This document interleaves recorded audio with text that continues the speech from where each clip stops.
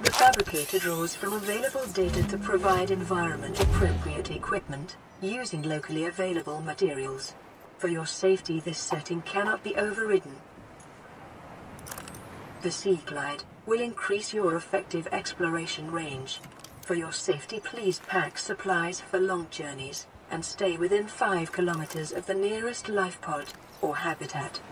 The Builder, too, is designed to construct habitats capable of withstanding extreme environmental conditions. Weapons were removed from standard survival blueprints following the massacre on Abraxas Prime. The knife remains the only exception. Motivational note.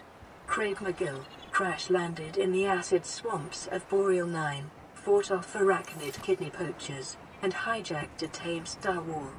If he can do all that, you can survive one more day.